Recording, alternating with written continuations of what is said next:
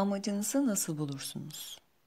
Sizi başka biri yapmak için elinden gelen ardına koymayan bir dünyada sadece ama sadece kendiniz olabilmek insanın girebileceği en zorlu savaştır. Savaşı asla bırakmayın. E.E. Cummings Liderlik amacınızı bulmak kolay bir iş değildir. Eğer kolay olsaydı hepimiz neden burada olduğumuzu bilirdik ve her günü bu amaca göre yaşardık. Cummings'in de söylediği gibi sürekli nasıl olmamız, daha akıllı, güçlü, zengin ve nasıl liderlik etmemiz, insanlara yetki ve sorumluluk vermek, arka planda kalarak yönetmek, özgün olmak, gücü dağıtmak gerektiğini söyleyen güçlü mesajlar yağmuru altındayız. Bu mesajları yollayanlar ailemiz, yöneticimiz, yönetim guruları, reklam verenler ve bazen de şöhretli kimseler olabiliyor. Böyle bir dünyada kim olduğumuzu belirlemek ve sadece kendimiz olabilmek gerçekten zor. Ne var ki tecrübelerimize göre bir kez bunu başarabilirsek diğer her şey doğal olarak arkasından geliyor. Bazı insanlar etki yaratan amaç sürecini doğal bir içe bakış ve yansıtma olarak görür. Bazıları ise bu deneyimi rahatsız edici ve sıkıntı verici bulur. Kimisi sıkıntılarını dile getirmez, tavırlarıyla belli eder. Farklı tipteki liderlerle çalıştık ve en şüphecisinin bile bu deneyimin kişisel ve profesyonel değerini anlayabildiğine şahit olduk. Çok uluslu bir şirkette kıdemli bir avukat kendini bu saçmalığı faydalı bulabilecek en son adam olarak nitelendiriyordu. Sonra öylesine destekledi ki tüm çalışanlarına bu programı tamamlama zorunluluğu getirdi. Çalışanlarına hiçbir zaman kişisel gelişim kitabı okumadım ve okumayı da düşünmüyorum. Ama sıra dışı bir lider olmak istiyorsanız liderlik amacınızı bilmelisiniz dedi. Hem hayalperestleri hem de şüphecileri yakalamanın yolu bir yandan insanların kendini ifade edebilmesine imkan verirken diğer yandan adım adım yol gösterebilmekten geçiyor. Yapılması gereken ilk iş genel hatlarıyla hayat hikayenizi gözden geçirmektir. Buradaki hedef temel, ömür boyu sizinle olacak, size enerji ve mutluluk veren güçlü yönlerinizi, değerlerinizi ve arzularınızı belirlemektir. Bunun için bazı yönlendirici sorular belirledik. Çocukluğunuzda yani dünya size neyi yapıp neyi yapmamanız gerektiğini söylemeye başlamadan önce neleri severdiniz? Bir anınızı düşünün ve kendinizi nasıl hissettiğinizi söyleyin.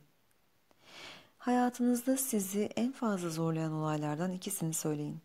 Bu olaylar sizi nasıl şekillendirdi?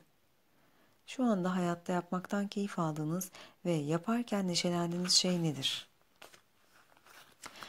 Bu soruları birkaç meslektaşınızdan oluşan küçük bir grupla değerlendirmek daha faydalıdır. Zira liderlik amacını tek başına belirlemenin neredeyse imkansız olduğunu tespit ettik.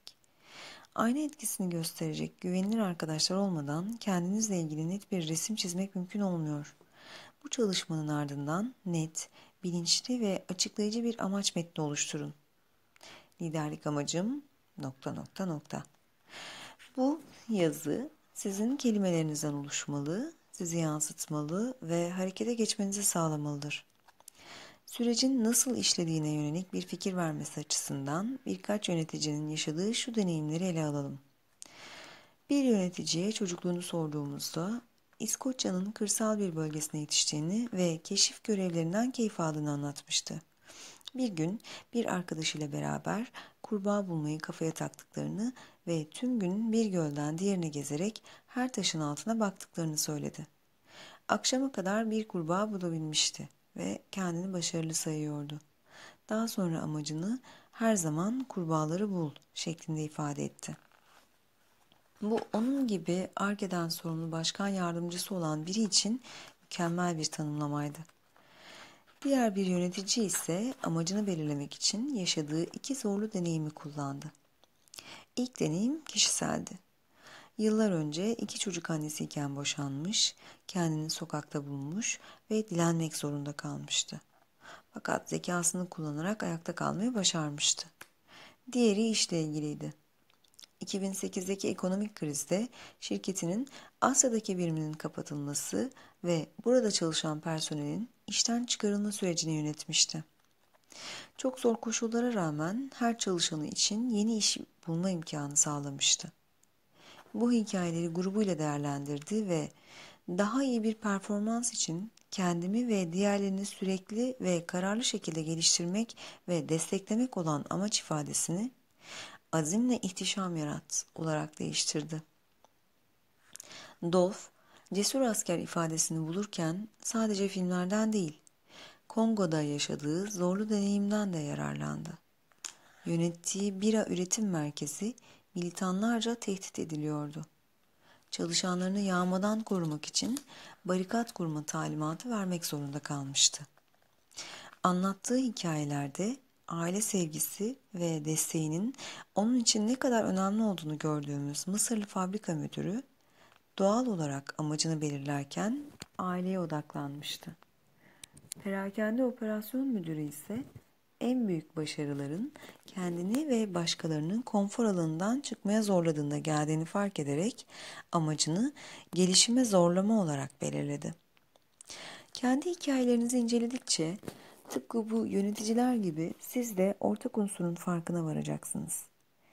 Onu çekip çıkarınca amacınızı bulmuş olacaksınız.''